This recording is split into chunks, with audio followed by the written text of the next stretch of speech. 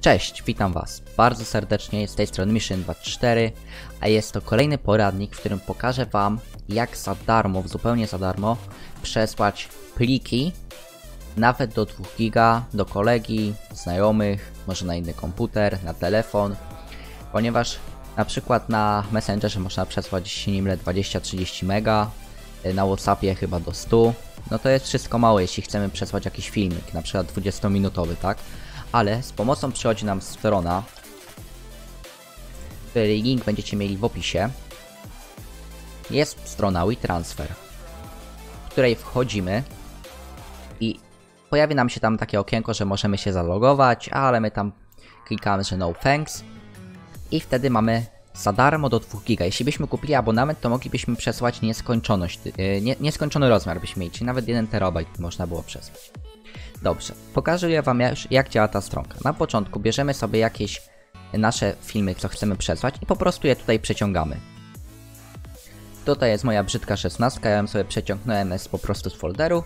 Wystarczy, że ją przeciągniemy i ona już tutaj jest, tak? Możemy jeszcze dodać parę rzeczy, tylko że musi się zmieścić w 2 giga, tak?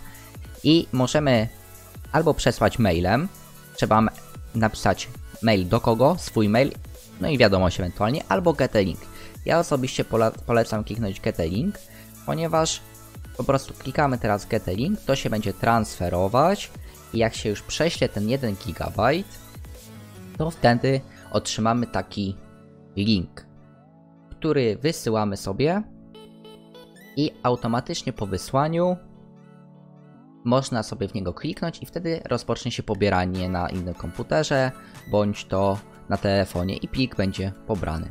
Także jak się już transferuje, to ja do Was wrócę.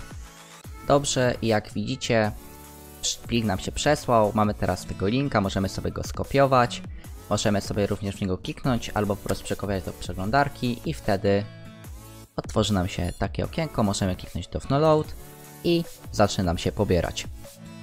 Także jeśli poradnik Wam się spodobał lub przydał, to możecie coś po sobie zostawić. Ja dziękuję za oglądanie i do zobaczenia. Cześć!